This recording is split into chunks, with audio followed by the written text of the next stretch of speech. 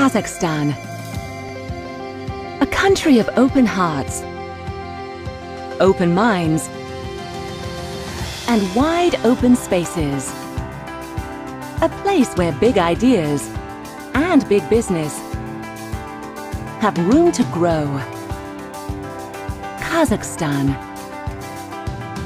The future is wide open.